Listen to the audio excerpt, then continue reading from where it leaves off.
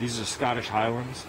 Uh, very, some of them are crossed with like a Dexter, but very good tempered cattle. Very hardy. They do extremely well uh, in cold and they give birth without any assistance or very little problems. The bull back there, the guy with the big white stripes, the belted guy, Yeah, he's a handsome fella. He's, he's very personable too. One of the nicest bulls I've ever met. You don't hear that said very often. Malik. Well, guys, like, go ahead. Come on over here and try it. Shepherd, so this is yesterday's eggs and today's. It's not been too hot, but there's probably a dozen and some change in here. Most of them are blue or pink.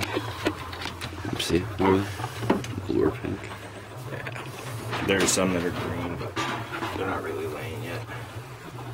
So this is an Americana, probably probably one of the most friendly and easygoing birds. And they lay the blue egg in particular. This is a Welsummer. His name is Cornelius. He's a young rooster. Uh, we named him Cornelius like the cornflakes rooster, you know. that's what he looks like. He does. Sure does. This is an Americana rooster. He's really young. He'll be uh, he'll be very handsome one day. And then there's another Americana hen.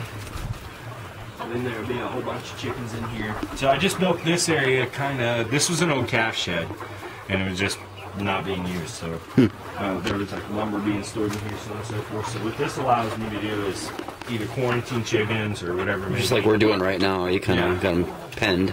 Well, I could put, you know, let's say, uh, see the black ones?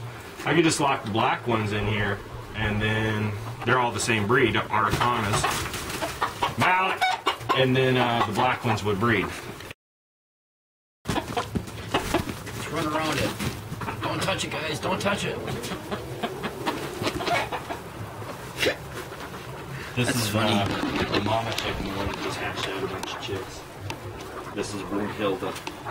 The hens only get named if they hatch out chicks, and the roosters only get named if I like them. Basically. Otherwise, they wind up as lunch.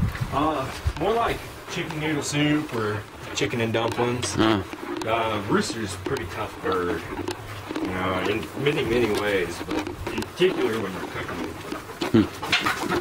So, this is the first year and time I've ever kept my a. Um, I've always just let them range about. The problem with that is I got intense predator pressure this year, and I've also got dogs.